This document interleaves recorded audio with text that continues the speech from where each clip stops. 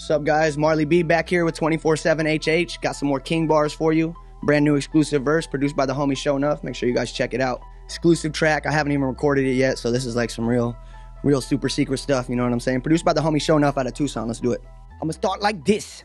Yeah, better get up and make them moves. Now nobody gonna make them for you. So I pick up and lace my shoes. Now it's a beautiful day on the east of the city, the place where I'm laying my roots, growing and learning and changing my life. Yeah, that's all I'm for paying my dues. So tell me how it feel to be stuck in a circle I never will. Y'all get it? I never will, but I'm rolling a buddy. Just keep it real. See. So for those bars there, I was basically kind of doing a double entendre about the wheel being in motion, but also not being stuck. I never will. It's about making those next moves and just keeping it pushing forward. You know what I'm saying? I'm from a place where the people get stuck and they never be leaving this city. They knock up a chicken, they said it was selling eight hours for 1550. Cool for you. But for me, yeah, I need a little bit more.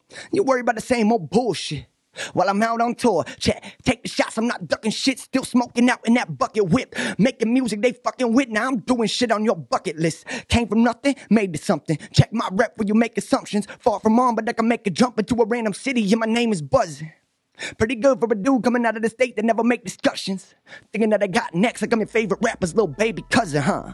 So for those bars, man, that was that was directed at a lot of the people that I know from Tucson, man, that just kind of get stuck in that same circle of things just never really leave Tucson. Um, I didn't leave Tucson until I was like, you know, 18, 19. So for me to be out on the road and, you know, making moves, just hope to inspire some people to get, get out of that circle of the same monotonous thing that they do, or whether it's, you know, they end up having kids or having responsibilities. I want them to still be able to go out and chase those dreams. And that's what that's about. So yeah, that, that verse right there, man, that's a, it's brand new. Um, track hasn't been put out. I actually haven't even recorded it yet. So it's super exclusive. Uh, produced by the homie Show Enough in Tucson basically you're just talking about the struggles of being an independent rapper from a small city. You know, you gotta you gotta get out of your city. You know, it's home.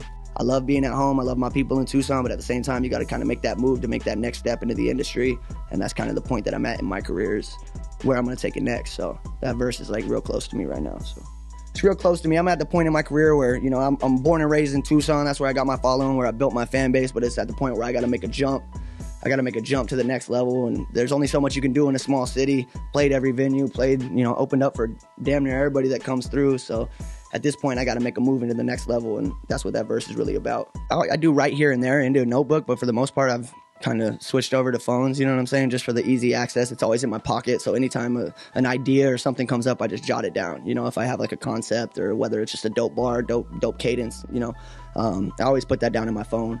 Um, and as far as like the creative process for this track, like this one came super easy for me. I've been at a point in my life where I've like, I've been wanting to move, but at the same time, like I just love my city so much that I'm like, oh, can I move? You know what I'm saying? So I'm at that point, and this one just kind of came right off, right off the, the tip of the pin. You know what I'm saying? The homie Show Enough made the beat.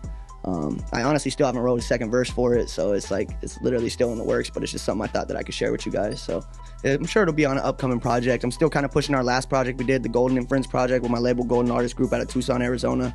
Um, features the big bro Jay Tilt, Cash Lansky, Mike Regal, Tommy Will, a bunch of dope cats. You guys should check that out. It's on Spotify, Google Play, uh, iTunes, all that good shit. And as far as right now, man, I'm just staying busy on the road. I'm out here with Dizzy Wright. That's why I'm out here in Chicago. And then we're gonna hopefully hit overseas, go over to France, over to Paris, try to start tapping into that market. You know what I'm saying? It's uh, it's definitely needed for us. Uh, take it to the next, you know, worldwide rather than just USA.